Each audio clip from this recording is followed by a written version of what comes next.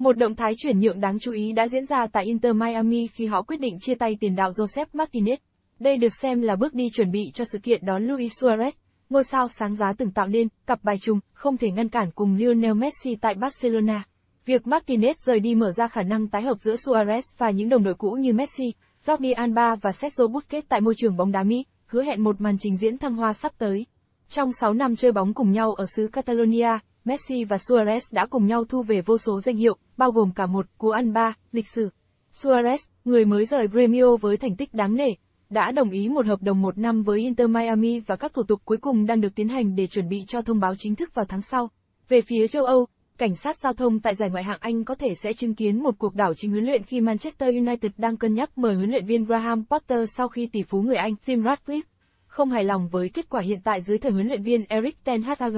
Potter, với kinh nghiệm dày dặn từ thời gian làm việc tại Chelsea trước khi bị sa thải, có thể sẽ mang đến một làn gió mới cho quỷ đỏ nếu mọi chuyện tiến triển. Trong khi đó, Real Madrid đang tích cực tìm kiếm sự tăng cường cho hàng phòng ngự với mục tiêu là Goncalo Inacio từ Sporting Lisbon. Trung vệ trẻ tuổi này được kền kền trắng quan sát từ vài tháng qua và giờ họ muốn đẩy nhanh quá trình đàm phán trước khi các đối thủ nặng ký như MU, Newcastle và Liverpool bắt đầu cuộc đua. Inacio đã ký hợp đồng mới với Sporting Lisbon có điều khoản phá vỡ hợp đồng tăng lên, nhưng Madrid tin rằng họ có thể thuyết phục cầu thủ này gia nhập sân Bernabeu với một mức giá hợp lý.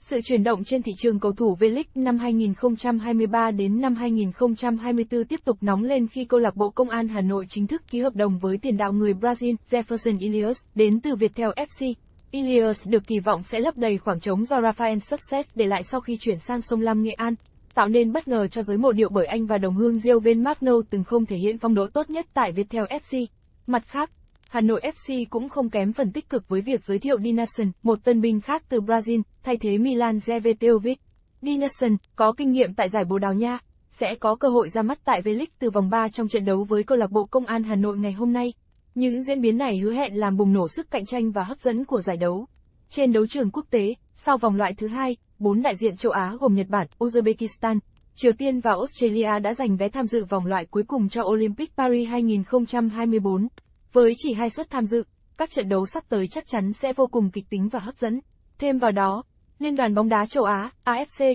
cũng đã công bố nguyên tắc bốc thăm chia bảng cho vòng chung kết giải Futsal châu Á 2024. Đội tuyển Việt Nam được xếp vào nhóm 2, bên cạnh các đối thủ như Tajikistan, Kuwait và Saudi Arabia, và sẽ biết mình sẽ đối đầu với ai sau lễ bốc thăm ngày 14 tháng 12 tại Kuala Lumpur. Giải đấu sẽ chính thức diễn ra tại Thái Lan vào tháng 4 năm 2024 hứa hẹn mang lại những trận đấu phút san cấp cao và kịch tính.